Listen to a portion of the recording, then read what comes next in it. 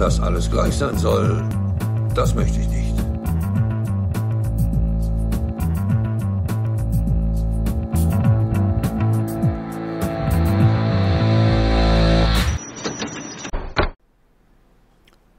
Und schon wieder heißt es herzlich willkommen auf dem Gleichsatzkanal zur Folge Nummer 11 der Kategorienbesprechung mit dem Hashtag Objektivität.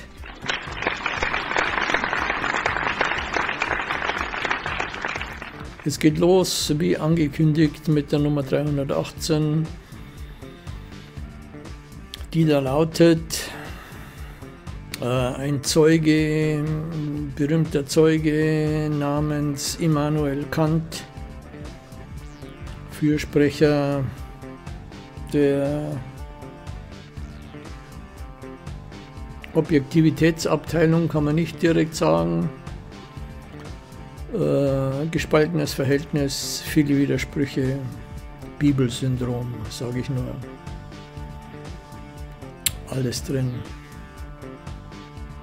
Gut, das Dasein ist kein Prädikat von irgendeinem Dinge. Es ist ein Prädikat von dem Gedanken, den man von dem Dinge hat. Das war die Sprache des 18. Jahrhunderts in Deutschland. Äh, fehlt nicht viel zur Übersetzung. Das ist ganz einfach. Das Dasein ist kein Prädikat von irgendeinem Ding. Es ist ein Prädikat vom Gedanken, den man vom Ding hat. In der letzten Folge hatten wir das Beispiel vom Schwein, an das gedacht wird, das aber das sich aber nicht äh, de facto äh, im Kopf eines Menschen befindet, da unmöglich, weil Kopf klein, Schwein groß. Was soll uns dieser Spruch sagen? Das Sein, die Existenz, das Dasein, das hier jetzt irgendein Gegenstand gegenwärtig ist, ist keine Eigenschaft dieses Dings, dieses Dasein. Und äh, ergo heißt das, dass, eine, äh, dass ein Dasein aus einer Beziehung äh, entsteht, entstanden ist, und zwar aus der Beziehung auf ein Subjekt. Sprich, das Dasein ist äh, subjektabhängig.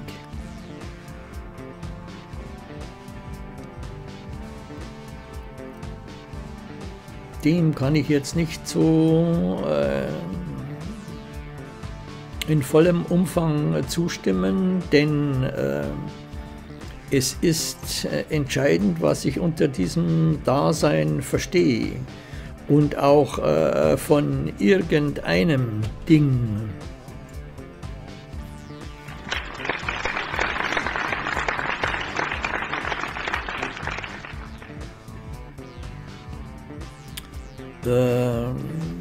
Es ist wohl nicht zu bestreiten, dass ähm,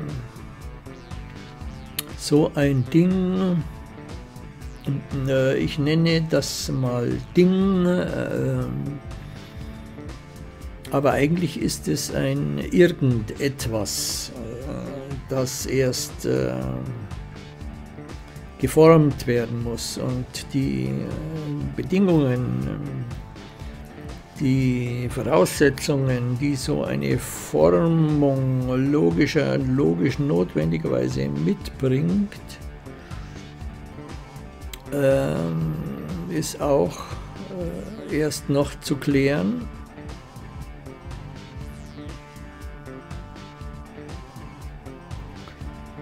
Jedenfalls ähm, würde ich, äh, der Punkt ist der, dass dieses Dasein äh, eben nicht, äh, dieses Ding nicht äh, äh, erkennbar ist in einem objektiven Sinn. Das ist äh, unmöglich. Jedenfalls nicht, wenn man Wert legt auf logische Widerspruchsfreiheit. Es ist zwar irgendetwas existiert und ist vorhanden, auch äh, ohne,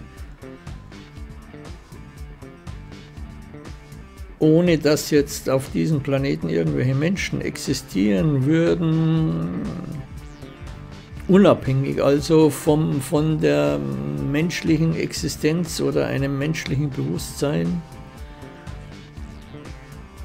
Aber um was es sich da handelt, äh, das bleibt, diese, diese Erscheinung bleibt ein Phänomen an sich in der objektiven Betrachtung. Also äh, in einer Betrachtung, die nicht abhängig ist von einem speziellen Bewusstsein, was immer das sein soll. Das kann eigentlich nur eine, eine gedankliche Konstruktion sein, eben wie ein Ding an sich. Äh, und der Gestalt auch nicht erkennbar.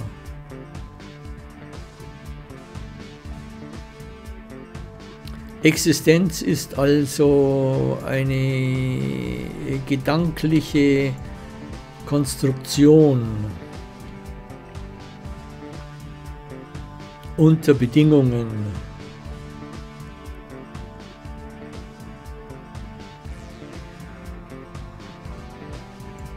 Dann äh, geht es hier weiter zur nächsten Nummer 321. Gegenstand und Denken sind eine unlösliche Relation. Ähm,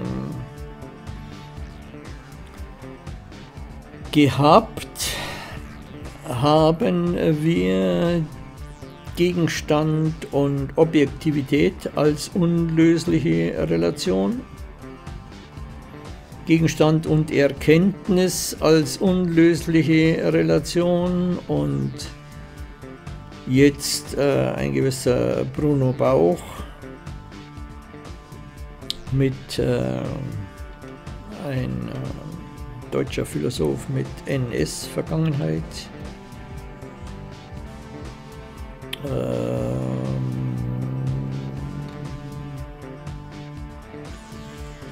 Kann jetzt nicht sagen, wie tief äh, diese Verstrickung war. Jedenfalls ähm, hat es da keine Distanzierungen gegeben. Der gute Mann hat weiter seinen Lehrstuhl eingenommen, soweit ich weiß. Aber ähm, dieses Zitat äh, erfüllt seine Wirkung in der Verbindung mit eben mit den eben genannten Und festzuhalten ist eben die Wichtigkeit des Gegenstands äh, für Denken, Objektivität, Erkenntnis, Wissen und Wahrheit, wie auch immer. Und mit dem Gegenstand eben das Problem, äh, die subjektive sinnliche Empfindung, Wahrnehmung, wie immer man dazu sagen will, in eine Erkenntnis, in eine sprachliche Form, in einen Gegenstand, einen Bewusstseins äh, handfesten, sage ich mal, handfestes Ding zu verwandeln, das dann als solches äh, für weitere Ableitungen und was weiß ich, für Spekulationen, was so alles getrieben wird, äh, dann gebraucht werden kann. Ist notiert. Und hier haben wir schon wieder den Gegenstand. Vorsortierer wieder volle Arbeit geleistet. Die Beziehung Nummer 325. Die Beziehung auf einen Gegenstand ist der gemeinsame Zug alles Psychischen.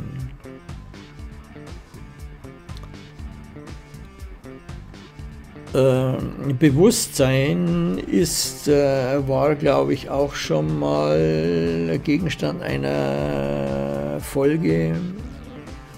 Bewusstsein ist immer äh, Bewusstsein von etwas. Äh, Bewusstsein und Gegenstand, da haben wir dann nochmal äh, eine Erweiterung dieser Erkenntnis, sage ich mal, ähm, auch im psychischen, äh, in Bezug auf das Bewusstsein ist der Gegenstand eine unlösliche äh, Relation. Bewusstsein ist immer Bewusstsein äh, auf einen Gegenstand gerichtet, das ein, ein Bewusstsein des, ähm, das äh, eines Gegenstandes entbehrt, ist nur eine leere abstrakte Worthülse ohne Bedeutung. Weiß man gar nicht, was man sich darunter vorstellen soll. Bewusstsein, ohne Bewusstsein von. Äh und hier haben wir den Gegenstand auch im Psychischen, das heißt eine Wissenschaft des Psychischen kann auch nicht umhin eben Gegenstände äh, als einen Gegenstand der Erkenntnis zu formulieren. Und diesbezüglich sind dann alle diese Begriffe aus der Psychologie auf ihre Gegenständlichkeit hin äh, zu überprüfen beziehungsweise äh, wie eben äh, dieser Begriff, äh, wie die Verdinglichung, die Gegenstandsbildung zustande kommt. Und da gibt es keinen anderen Grund, wenn man, wenn man diese, seine Begrifflichkeit nicht aus sich aus den Fingern saugen will oder aus, der, aus den Wolken da niedersinken sollen, dann braucht es einen triftigen Grund für diese Begriffe und der kann nur in einem Zweck liegen. Und wenn es der Zweck ist, dass sich eben Begriffe gegenseitig definieren, äh, ihren Umsatz, äh, der, der, der, Umfang irgendeines Begriffs festgelegt wird, äh, um möglichst äh, widerspruchslos äh, die Erscheinungen oder die Phänomene, die Rätsel, die uns äh, eine Psyche aufgeben kann, zu näher zu beleuchten.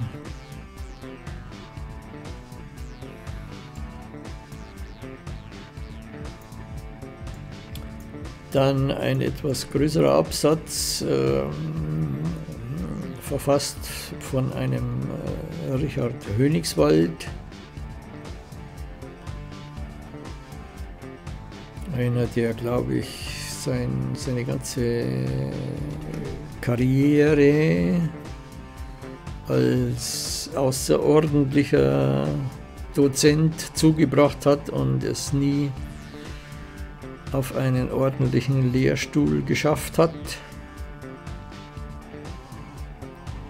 Die Nummer 334 in der Kategoriensammlung von Gleichsatz.de lautet wie folgt. Der Objektgedanke selbst, wenn er in seiner Reinheit und universellen Bedeutung erfasst wird, gibt zugleich den besonderen Methoden sein Material. Er konstituiert Kraft seiner logischen Valenz den Wert äh, genauso äh, nur im Rahmen eines anderen Bezugssystems wie die Wirklichkeit. konstituiert. Er beherrscht die, die Geschichte so gut wie die Naturforschung und überbrückt, überbrückt auf diese Weise die spezifischen Methoden, ohne sie aufzuheben. Also hier nochmal eine Hervorhebung der Bedeutung des Objektgedankens für die Einzeldisziplinen, aber noch äh, ein anderer äh, wichtiger Punkt, dass eben man an, am Objekt, an der Handhabung des Objektgedankens die besonderen Methoden der einzelnen Wissenschaften ausfindig machen kann. Also wie der Gegenstand äh, einer Wissenschaft zustande kommt, äh, darin lässt sich äh, zugleich äh, die Methode dieser Wissenschaft ablesen sozusagen.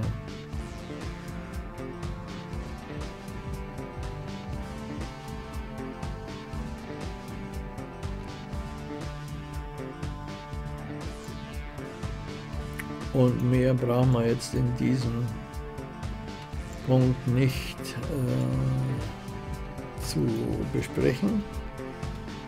Die Nummer 336, ähm, die Theorie des Urteils ist die Theorie des Objektgedankens. Jetzt haben wir, jetzt haben wir noch äh, einen weiteren Faktor, der eine, in, einer, in einer unlöslichen Relation steht zum Objektgedanken als da wäre, ich muss es vielleicht noch oft genug wiederholen, hoffe äh, keinen Punkt auszulassen.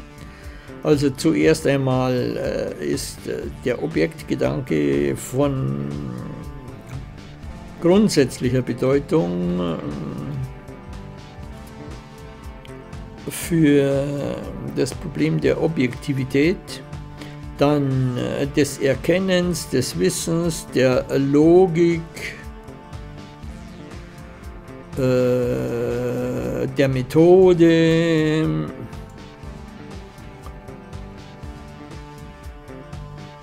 in Bezug auf das Bewusstsein, das Denken,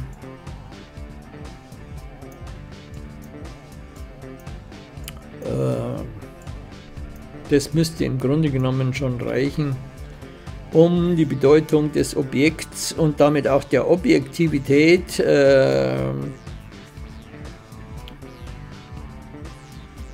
ins rechte Licht zu rücken, was mit dieser Besprechung alles, welche äh, Themenbereiche hier berührt werden,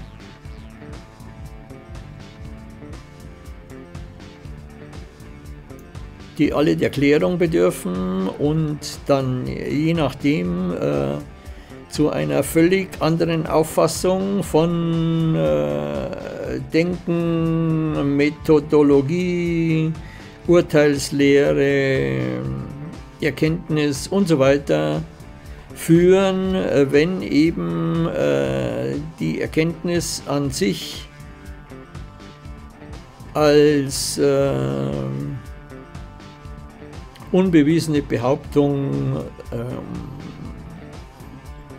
bloßgelegt werden kann.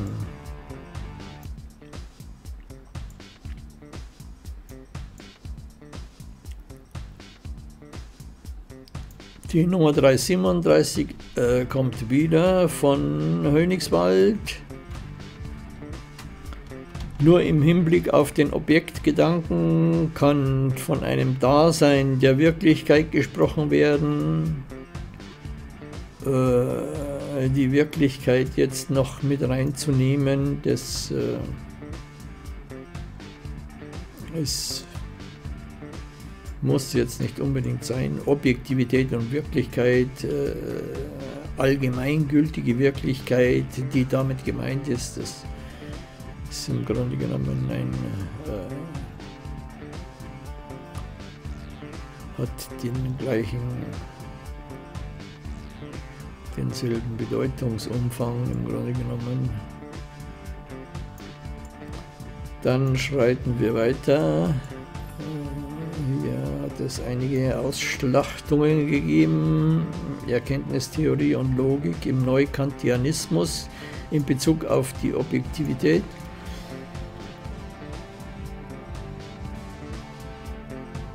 Da fällt mir bei der Gelegenheit jetzt, ich habe in einer früheren Folge schon mal in meinem Hinterstübchen danach gesucht, äh, dieses Zitat von ähm, nicht Leonard, sondern Hermann Cohen, äh, einer der führenden zwei Köpfe neben Paul Nathorp der mathematischen Richtung der Neukantianer. Und zwar äh, war der Spruch äh, von Cohen äh, lautet so, das Gegebene ist das Gesuchte. Und ähm, in, in, in ähm, soll ich sagen, die, im Lichtkreis dieser Behauptung sind jetzt auch solche, solche Objektformulierungen äh, zu sehen.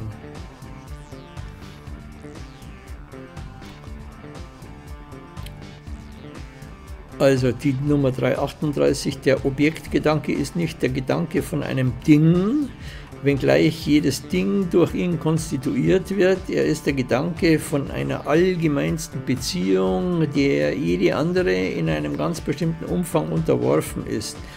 Er ist der Gedanke von einem formalen Geltungsprinzip. Das als höchste Bedingung jene Systeme von Beziehungen beherrscht, die man Wissenschaft und Wirklichkeit nennt. Denn beide wollen objektiv sein und beide sind es nur Kraft eines formalen Geltungsprinzips.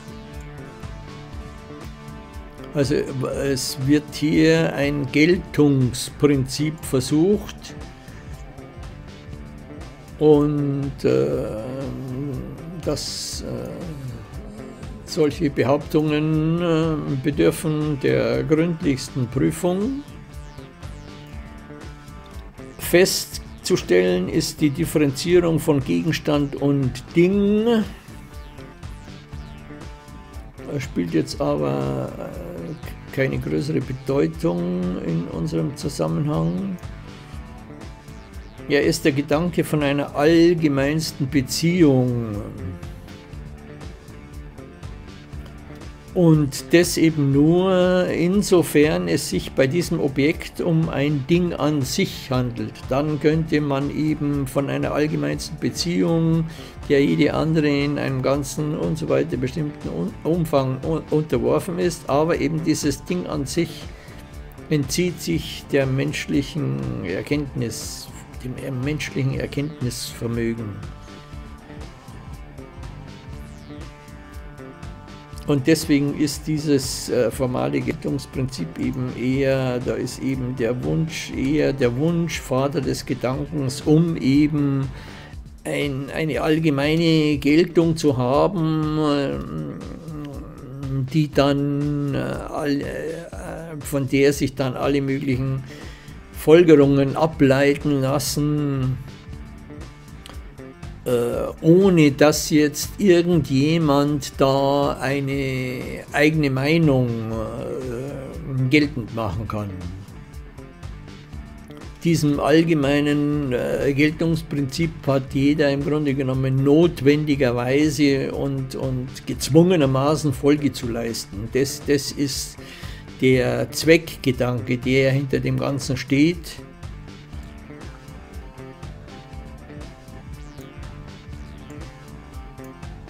mit dessen äh, Unterstützung oder überhaupt alle höheren allgemeingültigen Ordnungen lassen sich dann darauf zurückführen und dann lässt sich auch von einer höheren Vernunft, äh, Logik und äh, Rationalität sprechen,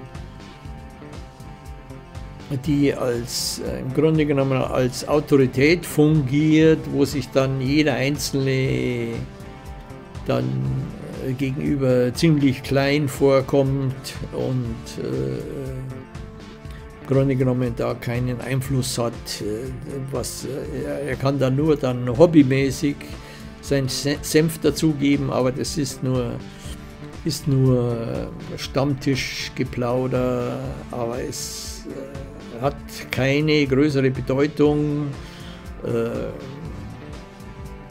von dem, was ein Einzelner da meint und äh,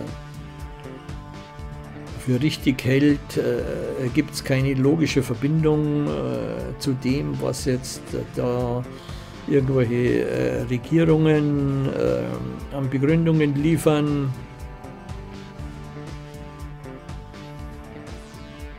Der Widerspruch ist äh, nur als einzelne äh, Stimme in einem Meer von anderen Stimmen, die alle gleich äh, bedeutend sind. Aber es äh, kann nicht der Fall sein, dass eben eine äh, äh, auf logischem Gebiet da eine Richtungsänderung gefordert wird, weil eben äh, irgendwelche logischen Gebilde und Systeme und Theorien einfach äh, widersprüchlich sind. Das äh, findet nicht statt.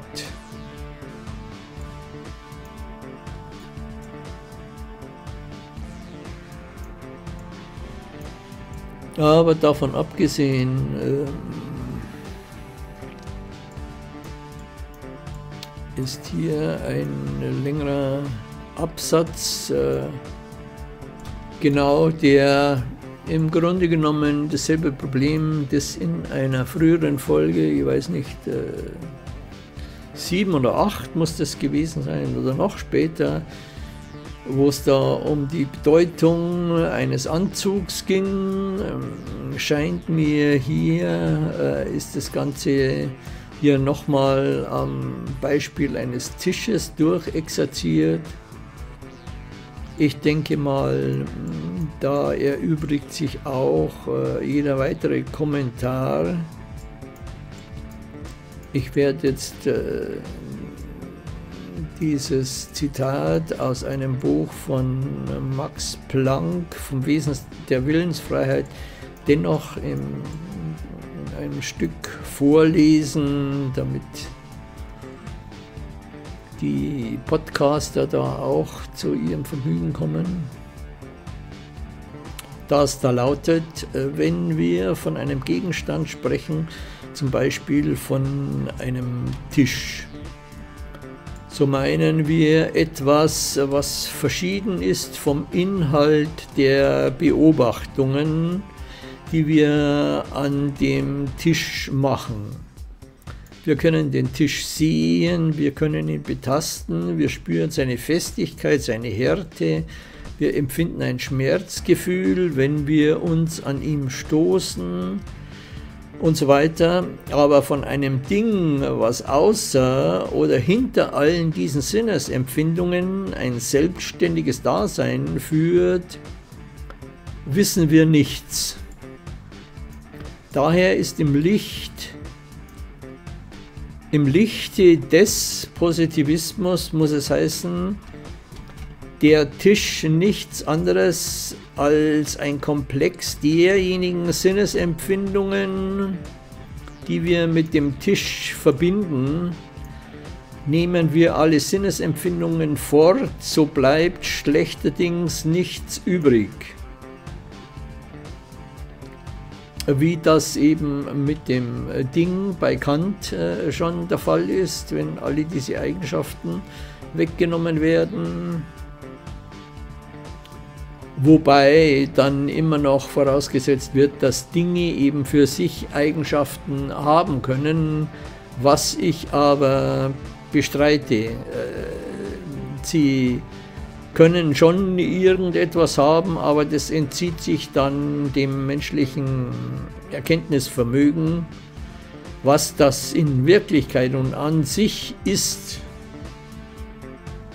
das lässt sich nicht sagen, weil es eben vom, von, vom Sinnesapparat oder, oder eben vom Instrument, von äh, das äh, benutzt wird und da mag es alle möglichen Instrumente noch geben, die noch nicht entdeckt sind, die dann ein völlig anderes Bild dieser Wirklichkeit ergeben.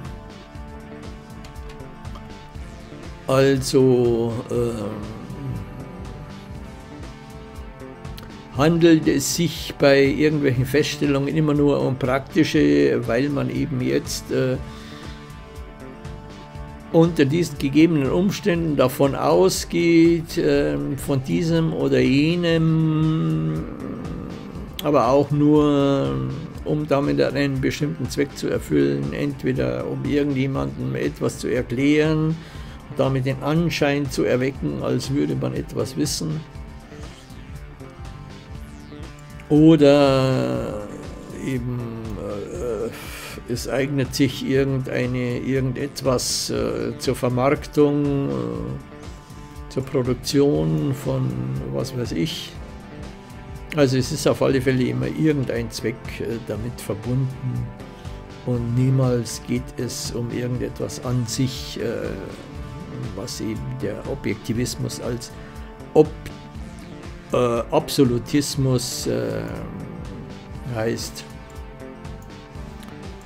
Aber ich bin mit meiner Vorlesung noch gar nicht am Ende, die wir mit dem Wort Tisch verbinden. Nehmen wir alle Sinnesempfindungen fort, so bleibt schlechterdings nichts übrig. Die Frage, was ein Tisch in Wirklichkeit, also an sich ist, hat gar keinen Sinn. Und so geht es mit allen physikalischen Begriffen überhaupt. Die ganze uns umgebende Welt ist nichts anderes als der Inbegriff der Erlebnisse, die wir von ihr haben. Ohne dieselben hat die Umwelt äh, keine Bedeutung. Zitat Ende. Also zweifelhaft wäre jetzt hier nochmal der Inbegriff der Erlebnisse, was auch immer das sein soll, der Erlebnisbegriff ist mir sowieso suspekt als äh, psychologische Erfindung. Da bin ich äh, zu sehr Sprachkritiker, um auf solche Wortschöpfungen oder Umetikettierungen äh, aus dem üblichen Sprachgebrauch da hereinzufallen. Bin ich Und schon geht es weiter zur nächsten Nummer. Ein Blick auf meinen Perpetitel sagt mir, dass wir schon wieder am Ende sind, so gut wie. Aber die Nummer nehmen wir noch mit, 354. Dann markiere ich schon mal die 362 für nächste Woche, beziehungsweise für die nächste Aufzeichnung. Folge 12. Der reine Inhalt ist frei von der Form äh, der Gegenständlichkeit zu denken.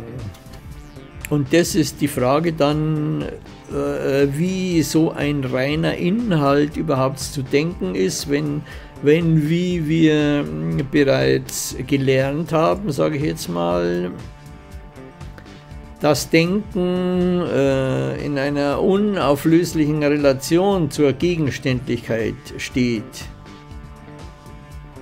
wie dann so ein reiner Inhalt ohne Gegenständlichkeit oder Form der Gegenständlichkeit zu denken ist.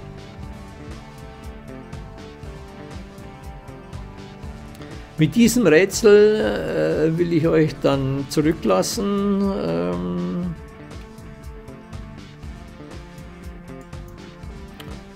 Wer das Rätsel lösen kann, darf ähm, gratis an der nächsten Folge teilnehmen.